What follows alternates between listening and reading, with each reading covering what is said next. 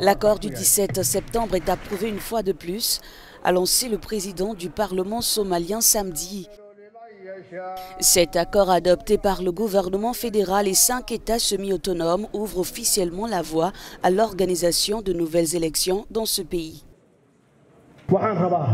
Je tiens à dire très clairement que le Premier ministre Roublé Mohamed Hussein conduira l'organisation et la tenue effective des élections et la sécurité durant l'élection.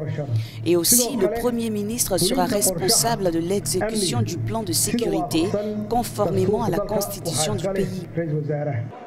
Une décision accueillie favorablement par l'opposition qui dénonçait la prolongation du mandat du président Abdoulaye Mohamed dont le mandat a expiré le 8 février dernier. Je veux féliciter tout le peuple somalien, en particulier ceux qui ont reconnu que l'extension est une menace pour la sécurité de notre pays ainsi que pour les intérêts du peuple et de la nation.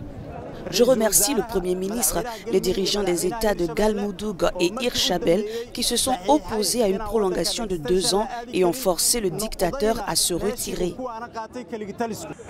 Des affrontements ont eu lieu dimanche dernier à Mogadiscio entre les forces de sécurité et l'opposition, une montée de tension alimentée par la volonté du président à se maintenir au pouvoir. Cette situation est très inquiétante.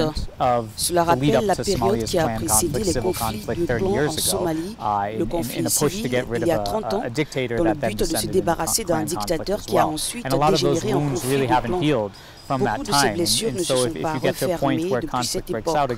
Et donc, si le conflit éclate à nouveau, la situation pourrait être pire. Depuis le 12 avril dernier, date à laquelle le Parlement avait voté l'extension du mandat présidentiel, la situation sécuritaire s'est détériorée. Samedi, le Premier ministre a promis l'organisation d'élections libres, équitables et inclusives sans que personne ne soit privé de ses droits.